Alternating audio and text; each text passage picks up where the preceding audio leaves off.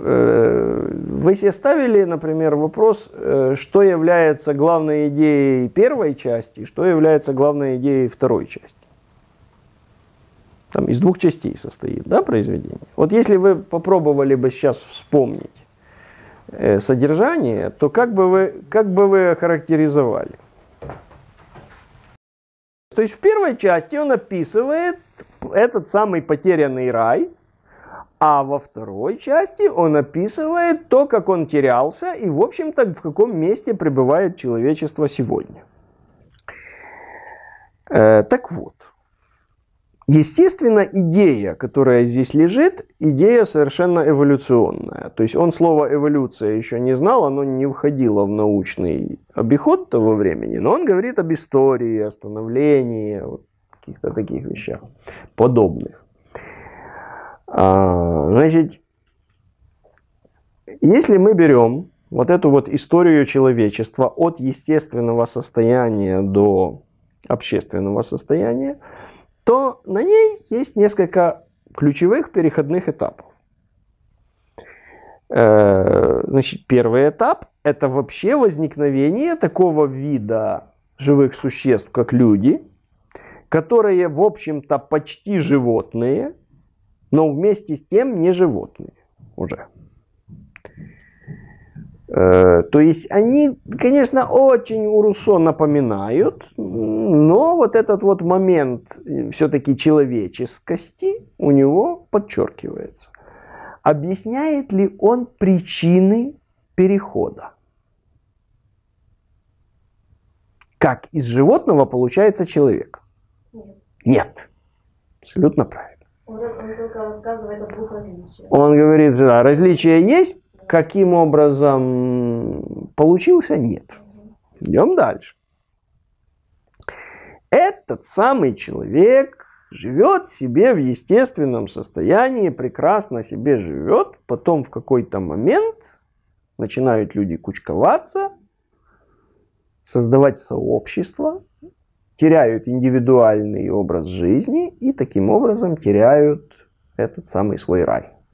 Он объясняет причину, по которой это происходит. Як намагається там. Да? Яка? Ну він коли говорить, що там як це як це створювали, що там вони там почали захоплювати, чи це вже ні, ні, ні, ні. Захоплювати це боронь Боже. Це ще коли буде це захоплення. От, от, от охарактеризуйте риси. Е, Е, значить, спосіб життя ось цієї природної людини. От основні такі найяскравіші риси, як ви запам'ятали зараз. От Що що притаманне цьому способу життя? Що його відрізняє? Сама собі живе. Сама собі живе. Тобто е, всі да, неприхотливые потребности, удовлетворяемые из ближайшего ручья. Там похлебал, желудь съел и отлично. Да?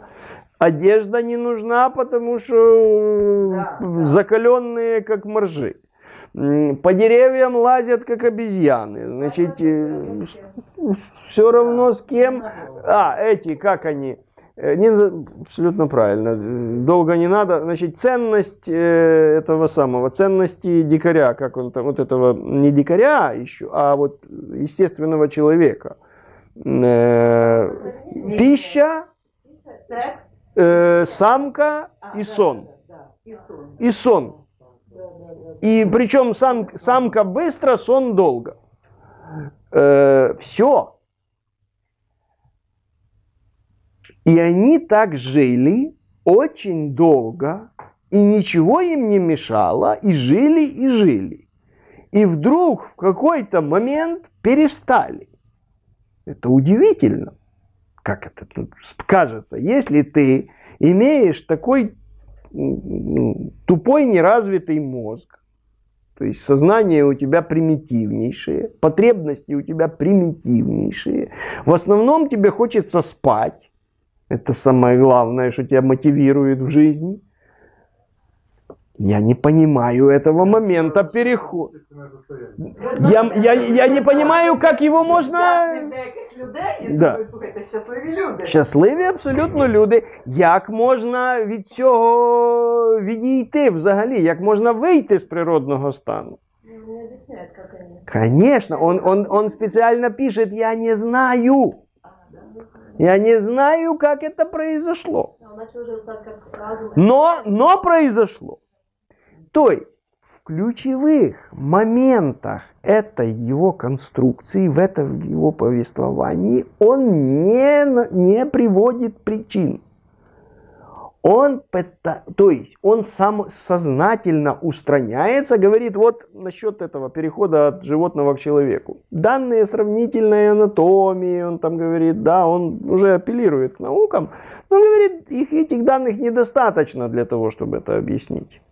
Да еще, еще и сегодня недостаточно. То есть здесь при всем, том, при всем развитии современной палеонтологии пока м, очень, очень тяжело здесь э, что-то четко тут э, нам понимать, потому что как-то это человечество развивалось многофазово и нестандартно, и не было одной ветви, и что-то там, в общем, ничего, ничего мы пока не знаем толком в деталях. Так.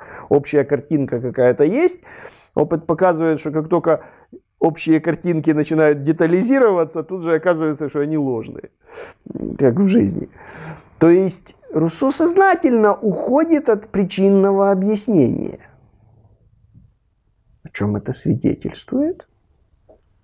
В качестве, ну, в порядке научности как бы этого текста. Он его сам понимает как гипотезу.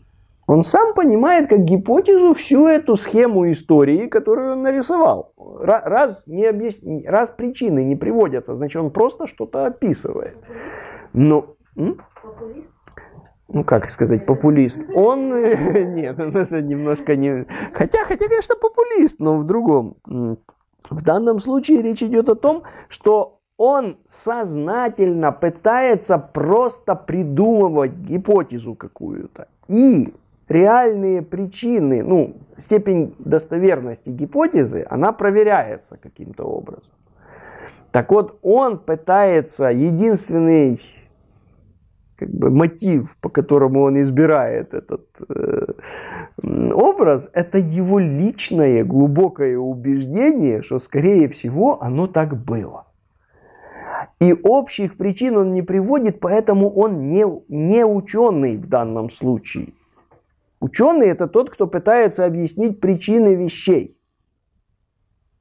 Он сознательно эту роль от себя устраняет, и он фактически берет на себя роль религиозного гуру. Он объясняет глубины собственного чувствования и говорит, что так было скорее всего потому, я не могу, конечно, утверждать, но весь мой опыт говорит о том, что должно бы был, было быть именно так. То, что я не знаю каких-то там деталей, подумаешь, причины, все ерунда. Концепция красивая. Так оно должно быть. То есть мы прочитали фактически с вами текст, который изначально претендует на роль гипотезы, обосновываемой исключительно мировоззрением автора. А тогда делаем вывод. А это значить, що всі от те, що пані Світлана там казала про, а чому в нього такі суперечності? Да? От, е, наприклад, е, якщо е, прагнення до благополуччя це єдина сила, яка нас, власне кажучи, рухає, то ну, як, же, ж- як, як же ж може бути природний стан, для якого там це благополуччя, ну, це що- що- щось настільки примітивне, що, що там нема що поліпшувати. А це вже в суспільстві нас до благополуччя якогось такого, що наростає, схиляють. Да? Або, наприклад, оці його м, е, справедливість, несправедливість, ви кажете. Е, Тобто, м, е, значить, е, е, як, як, як взагалі він там доходив до своїх ідей. Чтобы это все понять, мы должны прежде всего понять э, самого Руссо. То есть его идеи – это спроецированный вовне его внутренний мир. Его убеждения, его страхи, и его положение в обществе, которое обусловливает его взгляд на все вокруг. Вот если мы это опишем, что мы получим? Мы получим, во-первых, человека очень нездорового, я имею в виду физически. То есть он заболел достаточно серьезно э, во время этих своих путешествий многочисленных пешком, когда там очередной раз через какие-то горные перевалы где-то бродил в Швейцарии, вот что-то он там, короче, серьезно простудился, э, и это было связано где-то там с урологией, короче, нехорошие дела. Его посылали там, это мадам де Варанс лечиться в Монпелье, что-то там такое. То есть вы заметили, как он пишет о медицине, да, когда о первобытных людях? Он говорит, ну, я не буду тут. То есть нельзя сказать, что он тут, поскольку он всю цивилизацию чморит, да, то, может быть, и надо было бы медицину сразу. Он говорит, не буду тут рассуждать с позиции там, здорового человека, который э, не понимает больных и который, значит, гульно критикует медицину. То есть он вообще вот в этом даже моменте, то есть он человек нездоровый физически, поэтому он не критикует медицину, он ожидает от нее, может быть, каких-то облегчений, может, он ее даже получил что-то. Но он понимает, что это связано, скорее всего, что нас мучат хирурги, отравляют э, всякими лекарствами, там все такое, да, это там, больно, но он как бы не отвергает эту идею. Так надо понимать и все остальное. Это человек материально незащищенный. Человек, чувствующий себя в этом обществе очень непрочно, очень у него взгляд вот такой э, на, на все, что происходит, взгляд снизу скорее, из общественных низов вот таких, да. Он, он не имеет ни, ни общественного положения, ни семьи толком, даже с гражданством у него вот как не получилось, да, он, он неприкаянный, он между небом и землей, он такой чистый пролетарий умственного труда. И вот этот вот его взгляд, критический, такой острый на общество, это взгляд изгоя, для которого это общество чужое в значительной степени, если не враждебное ему, а психические нездоровье, которое добавилось к физическому, как раз обостряет в нем еще это. Это такой э, пролетарий, человек с пролетарским сознанием и манией преследования при этом. И вот когда мы это дело поймем, мы тогда поймем всю суть Руссо, когда ходит в салоны вот эти, увлекается всякими герцогинями и графинями, э, живет э, у своих этих э, почитателей и друзей, то у тех, то у тех. Он, э, он не принимает это свое положение как бы с благодарностью. Да? Он не принимает, он его принимает как тяжелую судьбу. И тем, кто ему помогает, э, скорее всего, ну, скажем так, от него никогда не было особой благодарности. Никто, никто где-то не, там не писал о том, что Руссо ну, считает это вообще должное. Это минимум, что ему должны. Вот этот момент. То есть он чужак. Он чужак в этой среде, его взгляд на вот это все, это взгляд чужого человека, который фиксирует те недостатки, которые вс- вся вот эта среда воспринимает как вполне естественные. Я вам хочу значит, процитировать тут э, текстик, э, который э, этот самый, ну, он не из этого, эм, ну, это речь идет о первом его э, рассуждении о науках и искусствах, где он э, обстаивает, оно гораздо короче, чем это, и он там отстаивает такую простую идею, что м, причиной морального упадка человечества является наука и искусство. То есть то, что люди становятся безнравственными, слабыми, э, теряют добродетели и так далее, причиной этого является то, что в обществе устанавливаются науки и искусства. Он объясняет это таким образом, что меняется представление о престижном, предметы искусства становятся важной частью быта, те, кто их делают, э, они получают вот какое-то общественное и материальное признание в том числе, значит, соответственно, меняется представление о престижном, непрестижном, все, нач- все заражаются этим, этим духом, так сказать, красоты, искусства и всего остального, и теряют э, добродетели, которые были характерны для более варварских времен. Э, Так вот, э, как он критикует политес?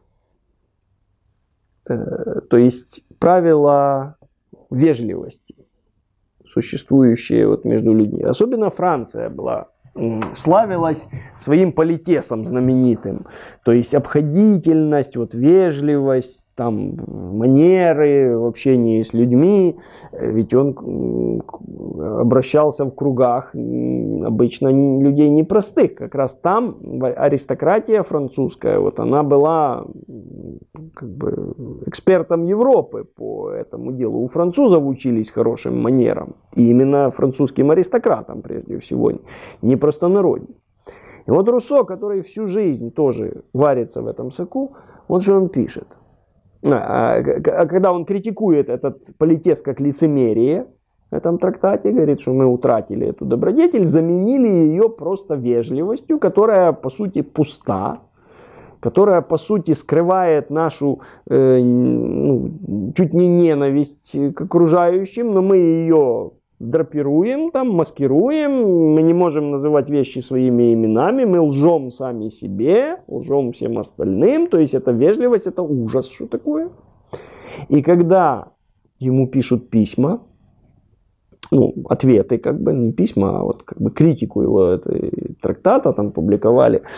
И один из авторов, вот он пишет, «Ну, что ты критикуешь политес, тоже мне нашелся. И надо еще больше, на, на самом деле, политеса. Что ж плохого, что ж прямо людям и говорить все, что думаешь, в глаза там и так далее.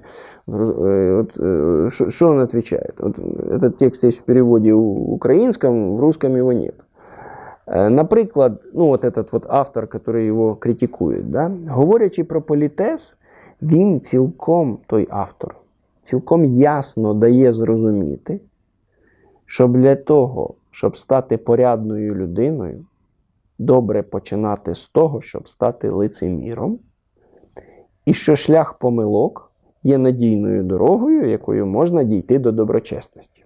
Тобто Руссо каже, що люди, які звикли до цього усталеного, е, усталених моделей ввічливості, вони насправді живуть суцільними суперечностями. Вони ж внутрішньо не ставляться так добре до людей, як вони на словах це кажуть. Да? В них розлад, розрив між усвідомленням і словесною формою. Вони живуть в двох личинах і таким чином роздвоюються. Вони брешуть самі собі, вони брешуть іншим. Вони кажуть, що щоб бути порядним в цьому суспільстві, це бути лицеміром. Бо якщо ти будеш казати правду, тебе е, скажуть, ти порушник спокою якогось, ти значить, е, не, не вмієш себе поводити. Е, Вже кому кому а Руссо це добре відомо, тому що він якраз е, такі екстравагантні моделі поведінки там практикував, оце в ноги кидався, там ридав зразу, чи що це явно не політесна була поведінка. І весь спектр реакцій на це він бачив. От. Е, він говорить також, що пороки, прикрашені політесом, не є заразними, якими вони були б, якби виявляли себе відверто із селянською безпосередністю. Що мистецтво розуміння людей зробило той самий прогрес, що й мистецтво змінювати зовнішність, що ми живемо відповідно до переконання, згідно з яким на людей потрібно розраховувати лише тоді, коли їм подобаєшся чи виявляєшся корисним. Е, Руссо каже, всі ці прекрасні тези можна звести коротко до такої. Я вважаю вас дурним і сміюсь з вас, каже один співрозмовник за маскою політесу. А інший каже: Я знаю, що ви безсоромно брешете, але зі свого боку вважаю вам того самого. Тобто, значить, спілкування ввічливих людей це змія в змії прийшла яду позичити, називається, отрути там позичити. Да? Тобто, що це означає? Це означає погляд, а це нормально, це були усталені моделі поведінки, та як, власне, і у нас. От, е, е, уявіть собі, що замість того, щоб сказати добрий день, хтось приходить і каже, ну ви і козли. Звісно, да? Ні, ну якщо це обґрунтовано. Що значить обґрунтовано? Причому тут обґрунтовано? Ви ж не знаєте, що скаже людина інша в наступний момент. Її... Це теж ліцемірство. Ні, е, ви не зрозуміли. Він каже те, що думає про вас, не прикрашене політесом. Да? Він до вас негативно ставиться, прийшов і прямо вам про це говорить. Ну, як ми будемо реагувати на того? А ми не очікували, наприклад, цього. Да? Ми не знаємо, чому ми козли. І що це ми козли, власне кажучи. Ми себе вважали зовсім і не козлами. І тут приходить, от, е, так би сказав, здрасті. А подумав, ну і козли. Ми б не знали про те, що він так подумав, і все клас. Тоже Да. Тоже б подумали, але конфлікту б не вийшло. А Руссо каже: от, а щойно би, от, е, ну, тобто ми зіпсовані, каже він. Ми зіпсовані люди, які м, е, цю свою зіпсованість звели до рангу чесноти. Єдине, що для нас залишається, це оця порожня форма ввічливості, за якою стоїть глибоко зіпсована душа. Так він бачить те суспільство, в, яке він, в якому він змушений жити, але з яким він себе жодним чином не пов'язує. Він себе не ототожнює. От нього така, він якби е, значною мірою ще й е, м, оці його ідеї зумовлені його безсиллям якось змінити цю ситуацію. Тому що він любив жити десь там в лісі, там ще десь, але в нього не було свого лісу, де б йому можна було жити. Він, він десь там, я не пам'ятаю вже в якому творі він писав, а, по-моєму, тут. Е, каже: я, на жаль, не ну, е, сучасний стан людства. Ні, це в дискусії там було. Сучасний стан людства каже такий, що люди не мають ні того здоров'я, ні тих звичок, ні тієї конституції, бо цивілізований спосіб життя змінив і наш організм, щоб піти зараз у ліс і, і жити жолудями, і, значить, харчуватися. Не зможемо ми вже це робити. Це неможливо. Ми органічно вже інші, ніж ті, що були. В цьому наша трагедія значною мірою, і моя каже теж. От я не можу, наприклад, там сільською працею займатися, каже Руссо. Хоча скрізь прославляє цю людську сільську працю, але сам чомусь до неї якось не рветься. Да? До письменництва він більше, хоча критикує всі науки, письменництво і так далі, але сам пише. І от е, значною мірою, ну, коли інші йому на це кажуть, він ображається, на це вказують, але для себе він прекрасно розумів, що так воно і є. Да? Він прекрасно розумів, що він живе теж в суперечностях суцільних. І. Да. І от я раджу, якщо колись буде нагода, воно є українською мовою і російською давніше. е, В нього твір є, називається Сповідь. О, це супер. Значить, це його ну, така а, інтелектуальна і життєва автобіографія, де він намагається пояснити, чому він так жив, як він думав, що він думає про інших людей і так далі. Це перший в європейській новітній історії такого типу твір. От така автобіографічна есеїстика. Е, де е, ну, фактично як Монтень він от ставить своє я в центр, але намагається говорити не про якісь там інтелектуальні сюжети чи що, а от просто про події свого життя. Оцінити з точки зору, як він це десь там пізніше вже е, бачив. І от там маса оцих біографічних подробиць, і я просто не зможу вам всі їх навести, які характеризують, от хто, що за людина була Руссо. Але головний мотив, хочу, щоб ви запам'ятали. Це мотив цього аутсайдерства і ненависті до того суспільства, до якого він прикований, прикутий як до галери. Якби внутрішню біль проєцював. І він проеціює це в критику, і його критика це є його віддушина. Да? От все, що йому залишилося, це ну я не можу нічого зробити, ну я вас хоч обгавкаю якимось чином. Там, да? ну, ну, хоч, ну, ну, ну можна же хоч покритикувати, то, да? от, хоч якось так. І от Бачите, йому бракувало психологічної освіти, так би він зрозумів, що це про нього. Да, був би психолог, він би прийшов. Спочатку вилікував. Значить, ви розумієте, е, психолог не всіх вилікує.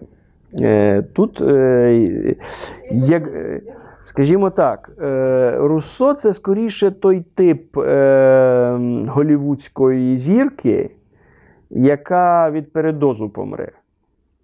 І психологи не допоможуть. Там вони всі до психоаналітиків ходять чи ще до кого, але деякі з них час від часу руки накладають на себе.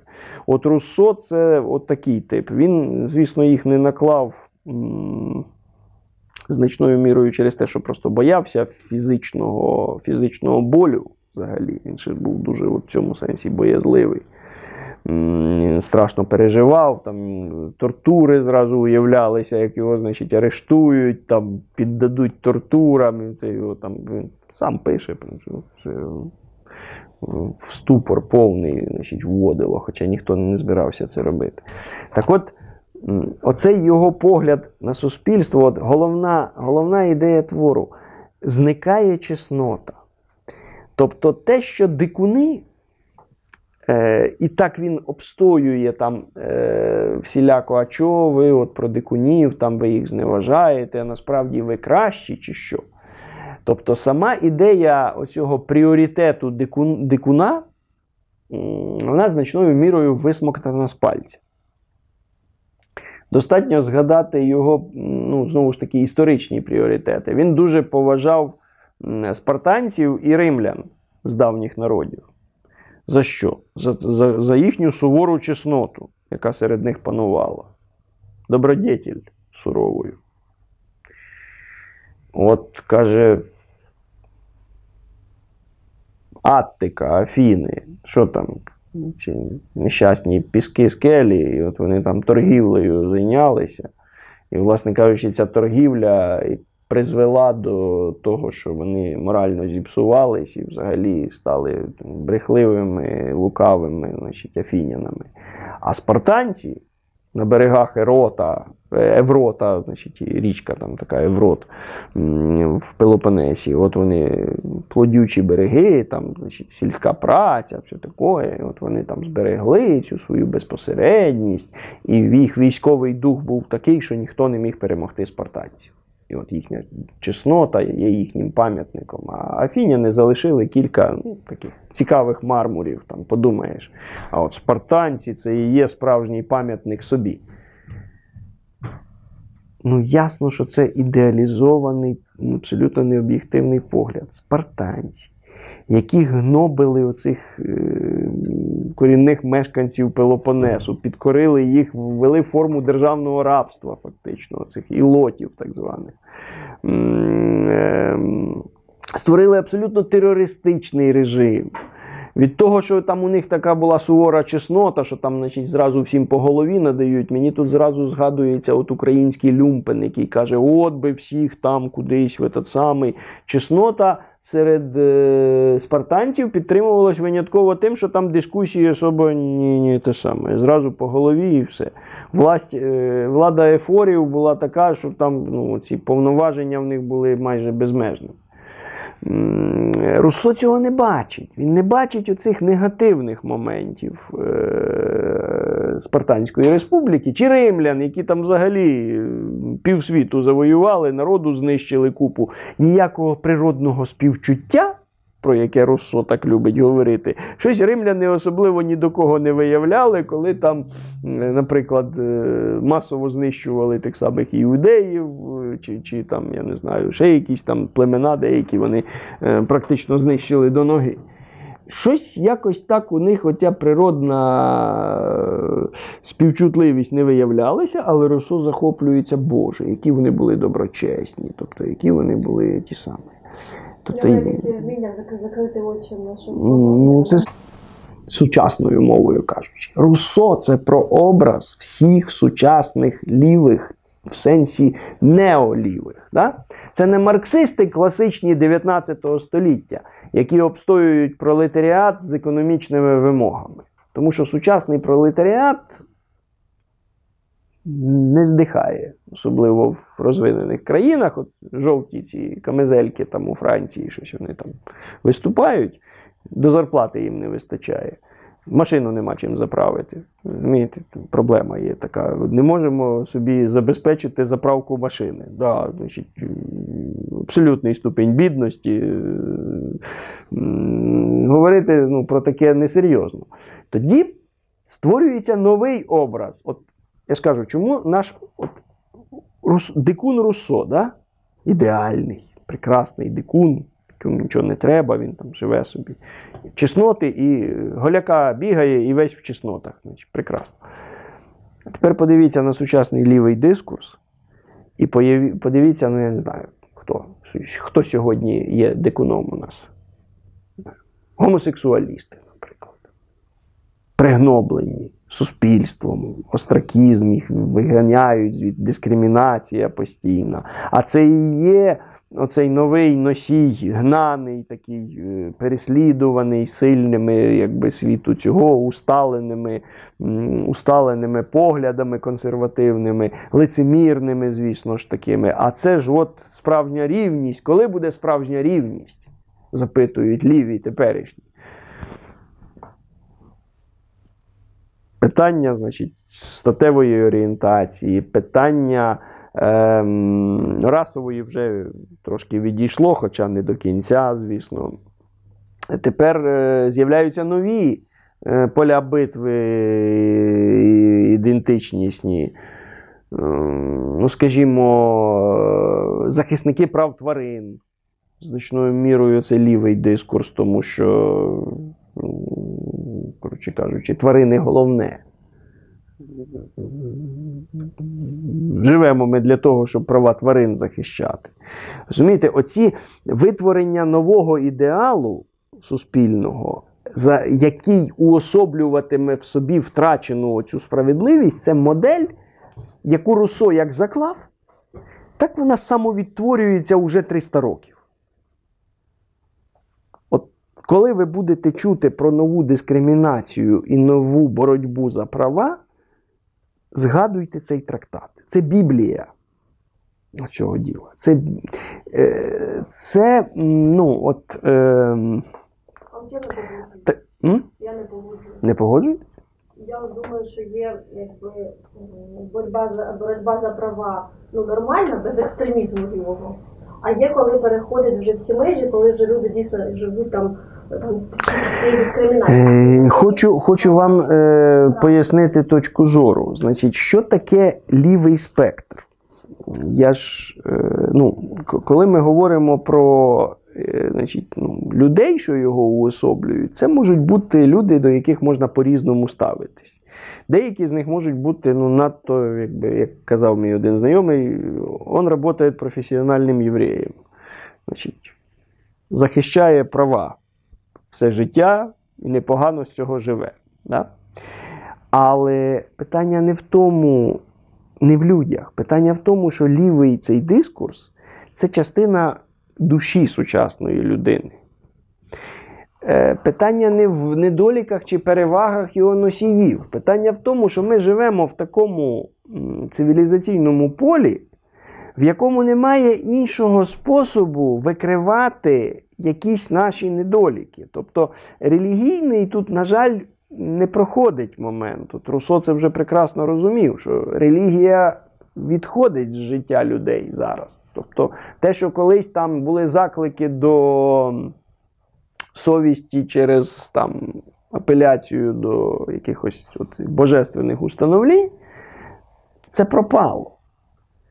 І задача Руссо це створити такий е, світський дискурс, який би все одно педалював оце питання совісті, якимось чином в людях ну, породжував е, ну, цей критичний дух, е, який би усуне, який усуне само, самовпевненість, самозакоханість, нашу ну, таку непові... невиправдану некритичність до себе. Ми сліпі е, до, до того, що вважаємо нормою.